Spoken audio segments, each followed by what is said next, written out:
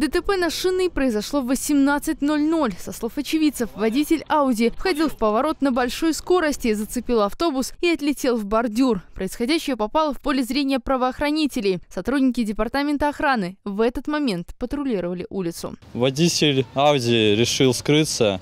Мы доложили это, естественно, в радиостанцию, развернулись и начали преследование. Какой скоростью он пытался скрыться?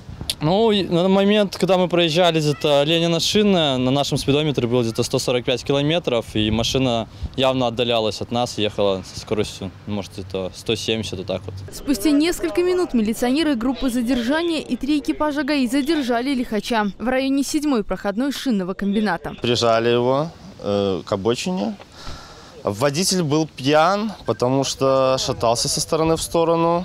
Ну, речь была, так скажем, невнятная.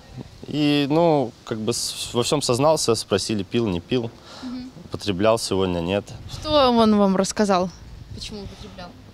Почему он не пояснил? Он нам пояснил, что так получилось. Со слов правоохранителей, мужчина не имел права управлять автомобилем. Теперь за несоблюдение закона горе-водителю в худшем случае грозит очередное лишение, но уже свободы. До трех лет. В ДТП никто не пострадал. По факту проводится проверка. Ангелина Дикун, Андрей Богдан, Бобруйск, 360.